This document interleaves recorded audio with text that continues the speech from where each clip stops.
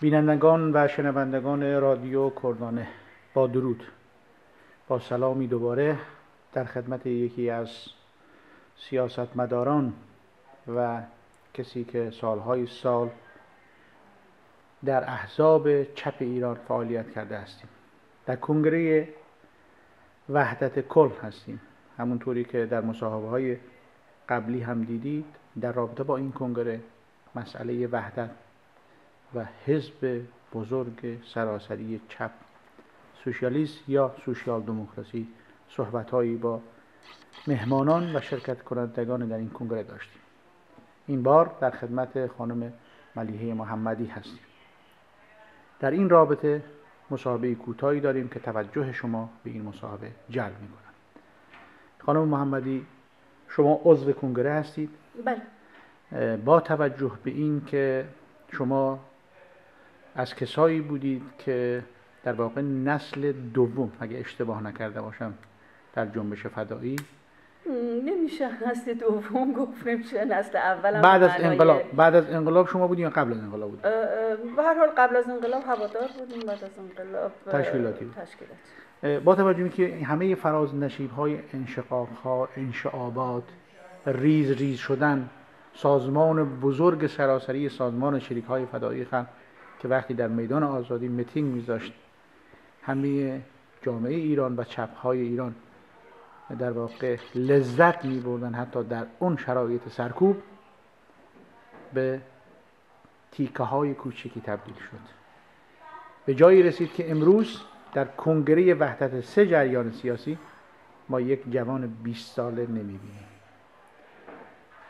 این کنگره برای شما چه مفهوم و معنی داره؟ چه احساسی به شما میده؟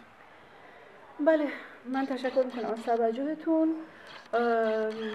ببینید مهمترین امری که من فکر شاید حسم و حتما خواهم گفت خدمت شما ولی ضرورتی رو که نیاز شد برای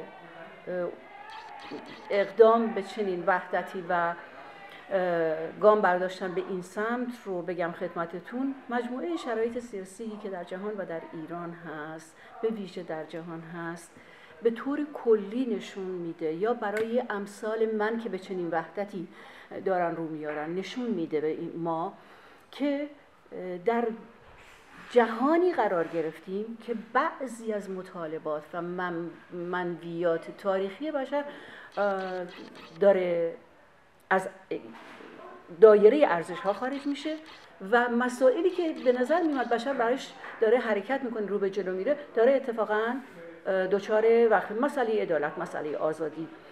ما هر روز شاهد هستیم که اتفاقات بسیار عجیب و غریبی میفته در پهنه جهان از تحت سلطه قرار گرفتن ملل کوچکتر که ما فکر می‌کردیم با رشد دموکراسی و مسئله عدالت اینها از بین میره هر روز داره بدتر میشه. این و هر و در جوار این قصد به موازات این مسئله شما کمرنگ شدن نقش چپ رو دارین می‌بینین. در جهان و در ایران. ایران مسئلهش مثل همه کشورهای جهان به مسائل جهانی بسته است. همه جا هم مسئله این که چپ باید خودش رو احیا کنه مطرح است. در ایران به ویژه وقتی چپ به این الزام می‌رسه مواجه میشه با اون بستری که شما اشاره کردید نسلی که سازمان بزرگ وسیعی رو از چپ تحت نام فدایی ایجاد کرد و انشعاب هایی که اتفاق افتاد بعد از اون نمی‌تونیم الان در این فرصت ریشه یابی کنیم که انشعاب ها چرا اتفاق افتاد. ولی می‌تونیم. حالا آگاهانه در صدد رفع تاثیرات سوء این بر بیایم به این ترتیب که مجددا با اون زمینه ای که داریم با وجود اختلافاتی که در اون چپ هست که اختلافاتیه که در همه جای جامعه سیاسی هست. با وجود اختلافاتی که وجود داره همه به اینجا رسیدن که وحدت کمک می‌کنه مسائل ما بغرنجی های ما سوالات ما ابهامات ما در سایه کسرت عقاید و استدلال ها و آرایی که وجود داره بهتر حل بشن و سریعتر حل بشن. امیدوارم که توی شروعی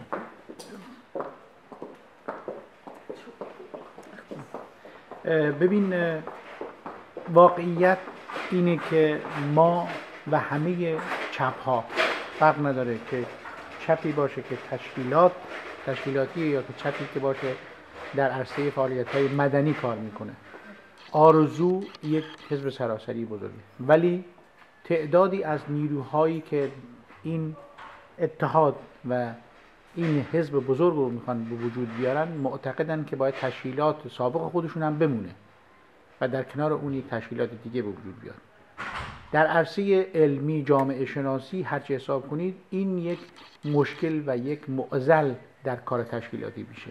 شما این مسئله رو چجوری می‌بینید وقتی که این مسئله باشه یعنی آیا اون حزب بزرگی که می‌خوایم درست کنیم محفل نمیشه؟ من باید یه جوری تصدیق کنم این توضیحی رو که شما دادید. اون که حزب و سازمان حفظ بشه به عنوان یه مرحله گذار تنها برای اینکه واقعیت اینه که انشاباتی صورت گرفته واقعیت اینه که ساختارهای تشکیلاتی حداقل خیلی با هم تفاوت کردن. این تفاوت وقتی آدم ها ناگهان یه جایی در یه ارگانیزاسیونی قرار یا یه جمعی قرار بگیرن خودشون نشون میده. اون مسئله که شما میگید اگر همیشگی باشه که اصلا ارزش وحدت رو از بین می‌بره. اما در مرحله به عنوان گذار و تحویل کارها و به اصطلاح یکی کردن بعضی از کمیسیون ها مسئولیت ها ما به یه دوران گذار نیاز داریم که به تدریج این یگانگی صورت بگیره. دیما حرکت گرسنگان بود جنبش گرسنگان بود جنبش توحید اسلام بود.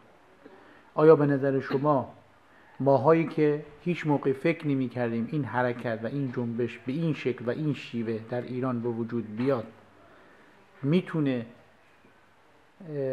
به عنوان یک سند برای پایان یک دوره حکومتی در ایران و در واقع نفی همه کارهایی که حکومت انجام داده باشه و مردم در واقع خواستار یک سیستم جدید حالا این سیستم چی باشه؟ من نمی‌دونم. اینو تفسیر و توجیه کرد. به مسئله که در دی ماه گذشت من یه مقداری تفسیرم با شما فرق می‌کنه. من اونو تنها شورش گرسنگان پابرهنگان و طبقات فرودست جامعه نمی‌بینم. مسئله این بود که و حتی آغازش رو هم بعضا سازمان یافته می‌بینم از جانب جریان راست در ایران که پیش بینی نمی‌کرد که گستر ندید این گستردگی مطالبات اجتماعی رو. و فکر کرد می‌تونه اینها رو بیاره به یه وجهی جایی دولت روحانی محدود کنه. اما واقعیت اینه که مطالباتی که وجود داشت انقدر گسترده بود مطالبات اقتصادی بله خیلی اهمیت دارن اما کسانی که به این جریان پیوستن نمی‌تونیم بگیم که فقط مردم به لحاظ اقتصادی فقیر و فرودست بودن. مطالبات دموکراتیک وجود داشت. بعضی جاها که شعارها سیاسی می‌شد شما اصلا نشانی از مطالبات اقتصادی نمی‌دیدید. اینه که من به این جریان به این شکل نگاه می‌کنم که اولا مطالبات اجتماعی بودن اقتصادی بودن سیاسی بودن. دوم که چه نشانه چه دورانی شروع شده. من فکر نمی کنم که این دوران به معنایی که بعضی از اپوزیسیون میگن سرنوشت ساز باشه. به لحاظ مضمونی در مسیر مبارزه دموکراتیک مردم ایران داره اون تابوی تظاهرات و خیابان و اعتراض برای حکومت و مردم فرو میپاشه و این